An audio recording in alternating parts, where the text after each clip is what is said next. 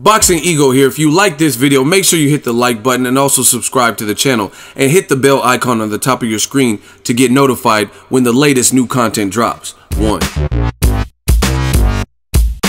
What up, Fight World? It's your boy Ego, and I'm back with some more boxing. Back with my segment, Boxing Ego Quick Hits, two minutes or less. Let's go. Jacobs just defeated Sergey Derevyanchenko to become IBF champion of the world at middleweight. Good fight, tough fight. And post fight, Jacobs said this about potentially facing Jermall Charlo. If that's something the fans want, because I've always been vocal about fighting Jermall Charlo, this feud that we're having is being built. He's fighting Willie Monroe in his next fight, so he has obligations right now.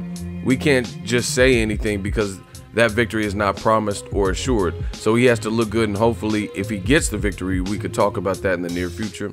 But you know, I want that fight. That's a fight that we want, and that's a fight that's been brewing for some time now. So if there's any personal fight that I want, yeah, it's that fight. But we also have a management and a team. We also have a promotion that's gonna get us the bigger, better fights that make sense for my career.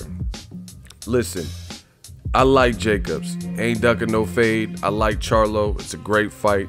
Jacobs also called out Canelo Alvarez, which would be a bigger money fight at this moment because Canelo, you know, made headlines making 365 million with DAZN over the course of five years.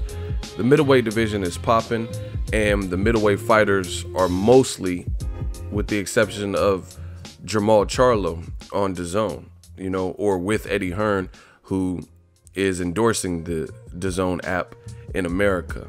I really like Charlo and Jacobs fight. I think it's a great fight for fans. So let's see what they could come up with. Boxing Ego Quick Hits. Let me know who you think would win. New IBF champion Daniel Jacobs or Jermall Charlo. Drop that in the comment section and we out. So if you enjoyed this video and want more content like this on the channel, you can show your appreciation by going to the PayPal donate button or the YouTube support button, and you can donate any amount that you feel is equivalent to the value of this video. Much more to come. Thank you guys for your support.